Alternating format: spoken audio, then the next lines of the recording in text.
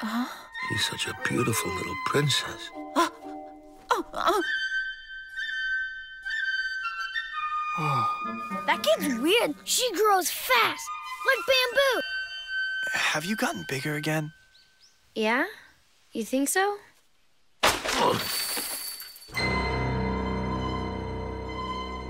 I have heard the rumors about her. They say that she's very beautiful. Oh, my. If disobedience to His Majesty is considered a crime punishable by death, well then, the only choice is to kill me.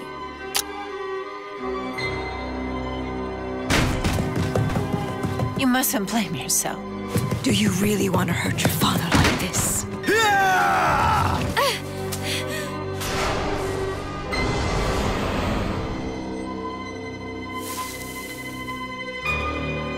Please don't take me away.